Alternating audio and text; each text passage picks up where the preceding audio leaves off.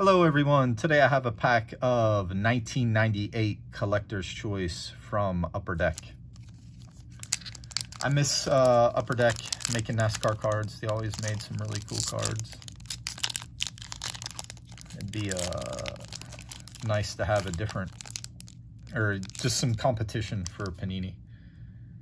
All right, let's check out these odds. Let's, uh, there we go. So maybe we'll get a Star Quest card. Uh, they're one in uh, every two packs. We should get the racing game card though. That's one in every pack. But maybe we can get a championship autograph card. That'd be pretty cool.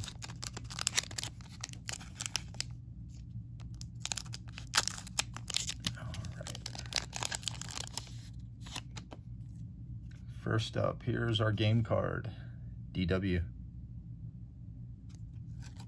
And then here's what the back of them looks like. And we have Michael Waltrip, Speed Merchant. So here's the backs. I like the back of these cards too. A lot of good info.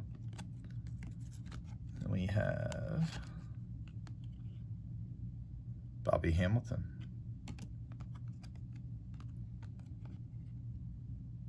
Mark Martin.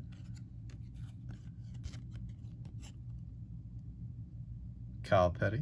Always like the Hot Wheels car.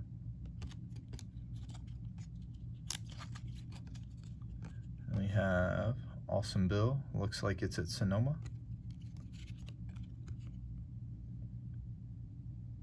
Brett Bodine. Card sticking. My favorite driver, Robby Gordon, Future Stock. That's pretty cool.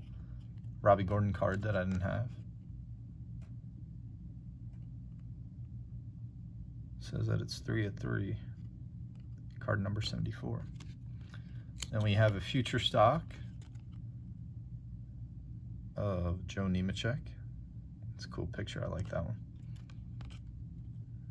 There's the back of that. So that's one of one. Ah, so maybe this is two of two. Steve, no, three of three for Steve Grissom. Future stock. I enjoyed that pack. So Thank you all for watching. Uh, don't forget, like, share, subscribe, all that good stuff. Thank you.